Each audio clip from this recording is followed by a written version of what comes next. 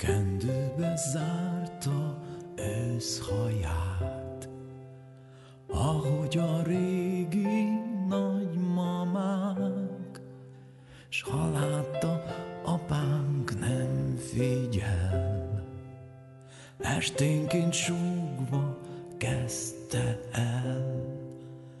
Tedd össze így a két kezed, így teszi minden jó gyerek, s szomorú szemmel végig mért, s nevettünk Isten tudja miért. Nézd csak fel, az ég magas, bár azt mondják,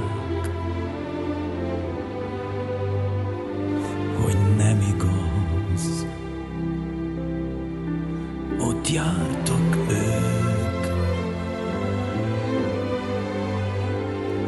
a repülők, és nem látták. Sehol. Kell ott fenn egy ország,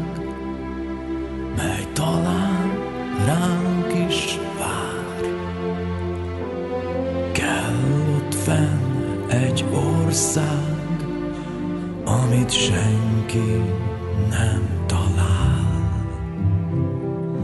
Kell ott fenn egy ország, mely bárkit átölel. Kell ott fenn egy ország, amit sosem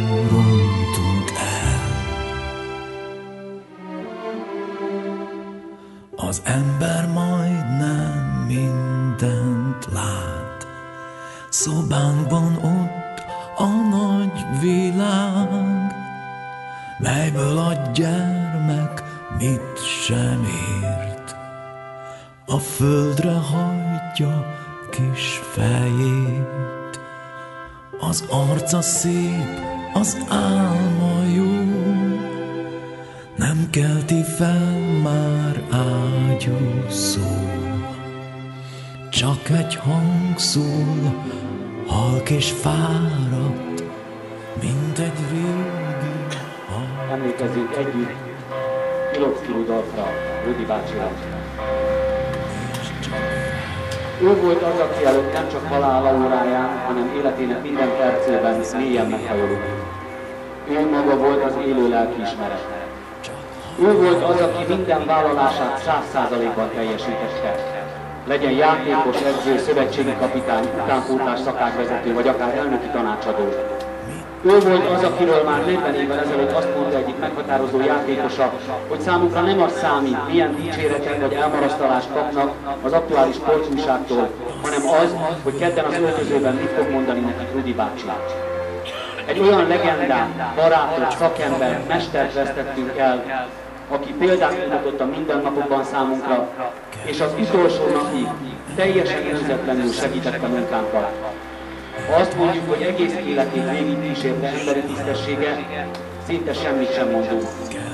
Puritán életvitele, szerény, soha nem hivalkodó emberi magatartása segítőkészséget tette őt, a vasas család minden igaz híve és munkatársa számára mélyen szerethetővé.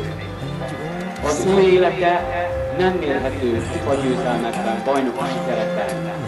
Ő Rudi bácsi volt. Ő Rudi bácsi. Nyugodjék békében, drága Rudi bácsi.